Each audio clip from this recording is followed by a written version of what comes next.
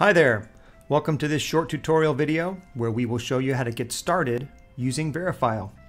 Verifyle is an ultra secure way to share messages and documents with anyone. It was built from the ground up to be extremely easy to use. So even if you consider yourself tech illiterate, this should be a very good product for you to use to share things securely with others. It also has patented encryption technology, which makes it more secure than any other cloud sharing or storage tool you might want to use. Most of those guys use, at most, one encryption key to encrypt all of your stuff, whereas Verifyle uses six encryption keys for every single individual item shared or viewed inside of Verifyle. So it's extremely easy to use and extremely secure. So let's jump in and show you how to get started. First, you're going to want to navigate to www.verifyle.com and click the button in the upper right hand corner that says sign up free. You're going to be asked for your email address and then your first and last name. So I'm going to go ahead and enter that information now.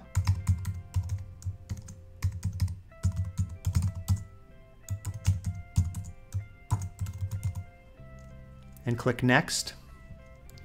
Now it says, check your email. We sent an email to dhmart at yahoo.com to make sure you are you. So this is Verifyle's way of confirming that I own the email address that I've used to sign up. So I'm going to go ahead and check my email account here. And you can see I have an email here from Verifyle. It says Verifyle account activation. I'm going to open that email and it says, Dean Merkin, thank you for registering with Verifyle. Please click the button below to activate your account. You will only have to activate your account once. So I'm going to click this button and I'm taken back into Verifyle. I'll need to confirm that I'm not a robot, so I just need to check this box. And then it says select all squares with traffic lights. Let's see if I can get this right on the first try.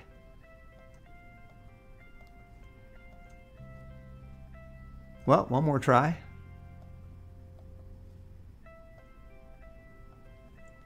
I've confirmed I'm not a robot. That's great news. So this is a really important step. It says we've randomly generated a strong and unique password for you. Please copy the following password and store it somewhere safe or change it now. So this big green mess here is the password that's automatically been assigned to my account. So that's a really hard password to guess, but I might want to change it to something that I can more easily remember. If I decide not to change it, it probably makes sense for me to write that password down and put it somewhere safe. So I'm going to change my password to something I can remember.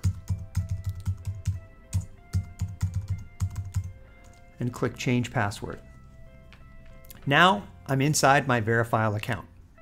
So if I want to share a document and a message with someone, the first thing I need to do is add that person as a contact into my Verifyle account. So I'm going to do that by clicking this blue button. It says Add a Contact. I'm going to enter my contact's first name, last name, and email address, and click Add. Now you can see the contact that I added is here in the upper left-hand corner. Dave Martin. And in the middle here is a private message thread between me and Dave Martin. This is where I can securely share documents and messages with Dave. If I had already shared some documents with Dave, they'd appear over here in the right-hand column. It says attached documents.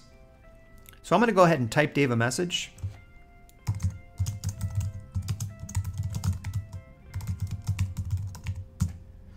And then to give him a document, I just click the paperclip, just like I would in an email, and attach it. So I'm going to click this paperclip, attach a document. Now you can see the document's been attached.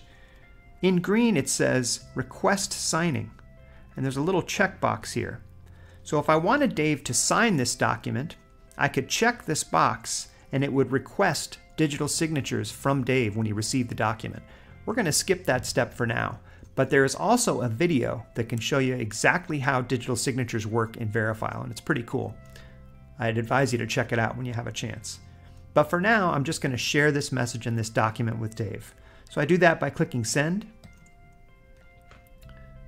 And there it is. From me, Dean, to Dave, I've shared this message and this document. Now, as soon as I did that, an email was sent to Dave inviting him into Verifyle and letting him know that something has been shared with him. So I'd like to show you what Dave sees when he receives that email and when he goes into his own Verifyle account. So we're going to navigate over to Dave's email. And you can see here he's received a message. It says from Dean Merkin, that's me. It says new secure message via Verifyle. I'm going to open that message. You can see it says Dave Martin, Dean Merkin has given you access to the following. Click items below to authenticate and decrypt. You'll notice that there's no attached document here and that the contents of the message are also not in this email. And that's because we believe strongly that email is not a secure way to share information. So we never attach documents to email and we never put messages into emails. What we do see here is a link that will take Dave into his own Verifyle account where he'll be shown the private message and he'll be able to access the document. So we're going to go ahead and have Dave click this link. So Dave is now inside of Verifyle. Dave is going to be asked to confirm he's not a robot. And he's not. Dave is now being shown his own version of this very difficult to guess password. This is not the same as the one I was shown when I first came into Verifyle. So Dave should choose to either write this down or change it. I'm going to go ahead and help Dave change his password.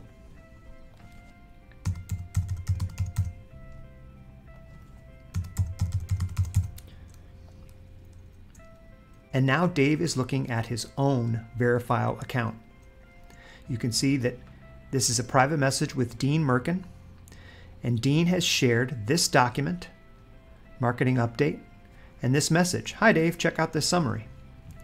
And Dave can now respond to me. So Dave might say, looks great. Let's discuss tomorrow.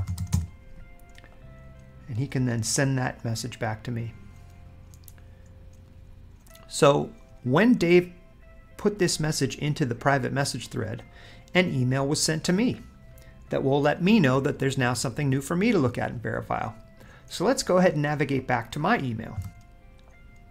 It says an email from Dave Martin. It says new secure message via Verifyle. And if I click this message, I can see a link into the private message from Dave. And if I click it, I'm taken straight into my Verifyle account because I'm already logged in and I can see this message from Dave. So Dave and I can send messages back and forth. We can share documents, all with this incredible security, and it's as simple to use as any messenger. So that's how easy it is to share messages and documents inside of Verifyle.